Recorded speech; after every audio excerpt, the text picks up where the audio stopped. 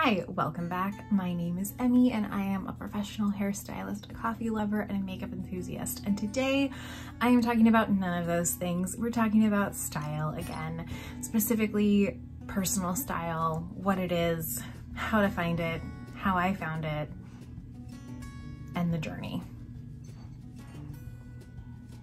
What is personal style? Personal style is a fusion of styles that you have found to best express you.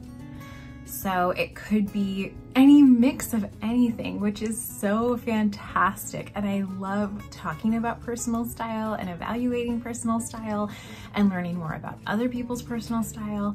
And I've really loved tracking my personal style as I've just lived life. It changes and it's so, so cool to see how I express myself to the world is changing as I change and live and learn and grow. And I think it's a wonderful thing. For me, finding my personal style was a really important step in growing up in my earlier 20s. It was really taking ownership of who I am. I've battled eating disorders. I am a survivor of abuse and just having been controlled in a lot of ways by my own doing and other people in my life, finding my personal style was really, really liberating in a huge way that I didn't even realize until after the fact. So for me, this kind of was a weird fusion of a minimalist journey, a personal style journey, a wanting to know who I am journey, and it led me to just accepting my style for what it was and now kind of playing and exploring and utilizing my personal style to express myself and it's wonderful. So how I found my personal style. I started with a book and I started with the book, The Curated Closet. And this was in an attempt to shop less, consume less, keep less articles of clothing in my closet. I tried to do the whole capsule wardrobe thing for a while. Um, I still kind of try to do that very loosely. I don't do well with like hard and fast rules in my life. I definitely need more like guidelines that I can just kind of loosely follow.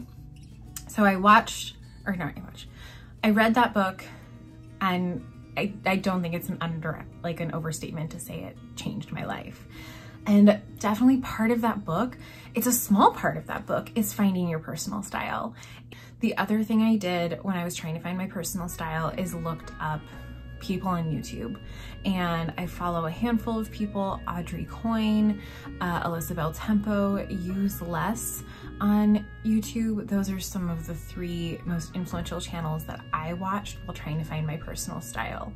Audrey Coyne really dives into like the mechanics of personal style and almost like in a scientific way. But it's so lovely and beautiful and her approach to it is so aesthetic that you just like you're learning you don't even realize you're learning. So I love her videos.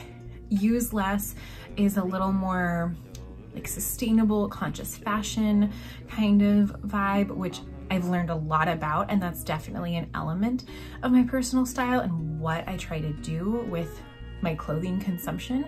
Uh, not as much of a focus as her, but I learn a lot and I'm really inspired. And then Alyssa BelTempo, her Shop My Closet videos completely helped me reevaluate and reframe getting dressed. Uh, and you don't need to buy new things every time you see an outfit and be like, well, I would love to wear that outfit. You probably have something in your closet that could make it work. And she, again, breaks it down kind of into the science of it in really digestible, bite-sized pieces of information and it's wonderful. So those are the three channels I really highly recommend for really discovering your personal style and trying to work with what you have and it's great. Another thing I did when trying to find my personal style is I fake shopped a lot.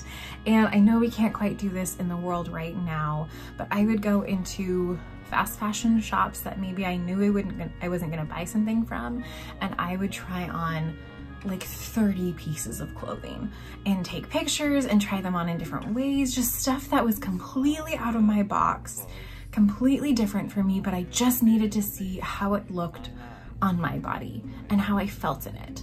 And so I fake shopped a lot just to get a feel for what I liked, what I didn't like, why I didn't like it. And I took a lot of pictures through that process as well that I would reference back to.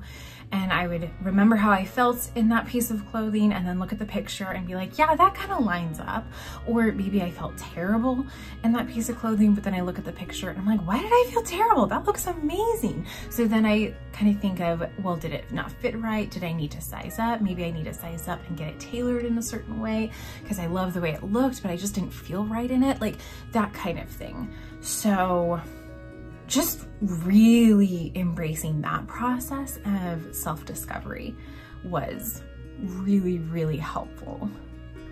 All the Pinterest boards, all of the Pinterest boards. And in the curated closet, which is the book I read, they um, suggest that you, you know, go through magazines and cut out outfits and all that. You can absolutely do that if you're a very tactile person who needs like to hold on to things physically, cool. Uh, Pinterest was plenty for me and I just pinned everything that I like to see. And was like, I like that outfit. I like that outfit. I pinned it and I put it all in one place. And then after like a good two weeks of pinning, I went and looked at it with the guidance of the curated closet. They have kind of a worksheet that you do and you go through your board or your inspiration or whatever you did and you kind of pick out the vibes that you like from the whole your all of your curation that you did and so when I did that, this was maybe a few years ago now, things like 70s came up, classic, beachy, uh, casual, comfortable, things like, like those types of vibes came up for me a lot. So I loved like the bell bottoms. I loved, um, like proportional things. Kind of off of that, you find your color palette and there's a lot of like hard and fast rules around color palettes in the fashion world. I definitely subscribe to a looser version of that and a lot of my colors do go really well together. I definitely have my favorite colors, but then I have some other colors that are a little outside my box. Maybe they don't go with everything, but it's nice to have that option to mix it up. So I definitely have a strong core color palette, but I also have a lot of like accent colors around my color palette. So I don't personally subscribe to hard and fast color palette rules. A lot of people do, and that really works for them. Something I discovered when I was kind of building my personal style through this journey is that for me, blue is a neutral. And for a lot of people, I think they think of blue as like a color. So denim, they're like, well, I'm wearing blue, so I can't wear XYZ colors. And for me, I'm like, okay, I'm wearing denim, it's a neutral. So any color with that is good. And even with this top I'm wearing right now, it definitely is kind of a deeper navy blue. There's like a depth to it that feels more like a color unless like a neutral, but it is part of my neutral in the rough color palette that I have. And that was, that like changed the game for me. Realizing and embracing that blue is a neutral in my color palette and just the way I look at color in my closet, it really changed a lot and kind of opened my mind to a lot of options. So that was huge and a big, big learning thing that changed my life. The last thing I did in my personal style journey is I decluttered my closet very slowly. so I would have a pile of maybes, I would have a pile of no's, I would have a pile of strong yeses. And this is a formula you'll see a lot in kind of personal style journey videos or information is that that maybe pile, that's where the juice is. Like your yeses, cool, awesome. Those are your assured. So, you know, your no's, it's a no. Just get rid of it. Just no. But your maybes, that's where you're gonna find like your nuance a little bit and just really be honest with yourself. And even if it's something where you look at it and you love it, but every time you wear it, you're just like, I don't know what it is. It's just not me. You know, maybe that's just, it just is what it is. You don't have to explain it to yourself. So, and then some of those maybes, you know, maybe challenging yourself and shopping your style, maybe trying to recreate outfits off of Pinterest and things with those pieces and using them in different ways, you might discover a way to wear that piece in a really wonderful way that you didn't think of before. And that turns it into a hell yes, you know, not a maybe, but a hell yes. And that is really cool when you can like take those maybes and be like, I love this, I just don't really know what to do with it. It's a maybe and figuring it out. Awesome. So declutter slowly. Be sure of your decision because if your motivation is sustainability, the most sustainable thing to do is wear what you have. So if there's a way you can make it work to where you love your closet, you love your clothes, and it really expresses your personal style in a true and honest way, find it, do it. yeah, coffee. Uh, can your personal style change? Absolutely, it can change. Uh, I can like promise you it's not even, it's a matter of if, but when it's gonna change. So when that change comes, when you feel that change coming, change it slowly. Change it with one piece. Change it with a pair of shoes. Change it with like a scarf or something, you know, just one piece at a time. Don't completely overhaul. There is a kind of a sustainable way to do that if you wanted to, but I feel like if you're at the beginning of your personal style journey, to get rid of, you know, 10 pieces and replace them with 10 pieces in your new personal style, you know, whatever that is, if you're doing that in a sustainable way where you're selling those clothes secondhand and you're buying the next 10 pieces secondhand, by all means go for it. Personally, I find that's a lot of legwork. I don't sell clothes online because it's just a lot of work, to be honest. And that's just not something I have the energy, the motivation, or the time for. Um, so I much prefer to slowly change and really thoughtfully bring in pieces, uh, preferably secondhand when I feel that personal style kind of shifting. Uh, so yeah, that's, it's gonna change. Roll with it, figure it out. But, you know, do it, do it in a way that matches up with your morals and values and your, the why behind your personal style journey. So how would I describe my personal style now after a few years of being on this personal style journey and just kind of paying attention? I would say that my style is written down, so pardon my, pardon my looking down. I would say it's kind of classic, beachy, casual, simple, organic, and effortless. I, I love to look comfortable, but not frumpy. And I hate the word frumpy, like hate it because there's a whole, I won't get into it. I hate the word frumpy, I do.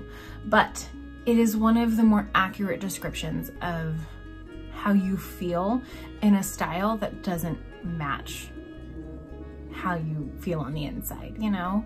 And so I like to look effortless. And for me, that is clean lines, not too much print, and comfortable textures, comfortable like, uh, what is it, fabrics, and just an, a decent amount of intention, but in simple, effortless ways that look like she just tossed that outfit on and she looks so stylish. So I love, I love a half tuck because uh, it's, you know, a t-shirt and jeans is one of my major go-to outfits and you half tuck that t-shirt and you pop on a belt and it's like an outfit. It's not a t-shirt and jeans. And that kind of thing is totally my style. So as my personal style evolves, a t-shirt and jeans is a go-to. Like that's never gonna leave me. And so, but finding different ways, different necklines of t-shirt, an oversized t-shirt, a fitted t-shirt, a different kind of belt, maybe a wide leg jean versus a skinny jean. There's a lot of play you can have in simplicity. And that's definitely my style for sure. It's classic, comfortable, a little bit beachy because I live by the beach. You know, you gotta be beachy and effortless, I think might be one of my main descriptors. That is a little bit about my personal style journey and what it's brought me and what it's taught me and it's given me so much confidence in the world and how I move through the world and it's just fun too. Like clothes are fun. You can really express yourself with clothes and it's really exciting. And so if clothes have been something that kind of has always brought you stress and just you wear whatever and you feel fine, I guess, kind of thing, maybe think about diving into a personal style journey and figuring out what makes you feel like the most expressive, best version of you. Because it's out there. You just gotta find it a little bit. Thank you so much. Feel free to subscribe, like, follow me on Instagram at Simply Pretty with Emmy, and I will see you next time. Thank you.